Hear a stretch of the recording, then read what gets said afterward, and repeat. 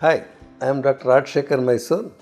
I am a colorectal surgeon for the past 25 years and a general surgeon for the past 40 years. Not only into that, I am also interested in health management as such, not the disease management. So I give advices even for health management. Sigmoid colon. Colon is nothing but large intestine. It starts from an organ called cecum on the right side of the abdomen and uh, ends in the something called rectum that is the last part of large intestine so most of the large intestine is fixed to the abdominal wall there is one or two parts which are a little free so in that sigmoid colon is one of that sigmoid colon is the almost near the end of the large intestine so it is uh, more mobile and it is not fixed to the wall because it is loose sometimes it gets twisted and we get what is called a volvulus. So now about diverticula in the sigmoid colon. Diverticula are nothing but small pouches in the wall of the large intestine. See the intestines are made of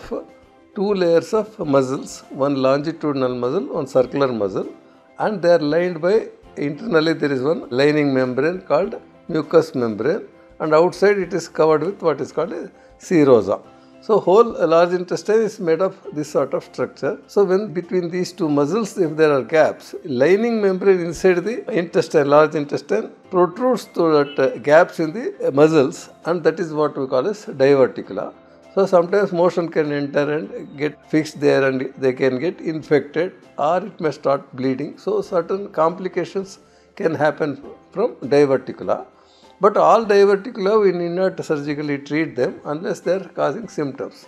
The symptoms being diverticulitis when there is infection, repeated infection, we have to treat it. Or if there is a lot of bleeding from that, we may have to treat it surgically.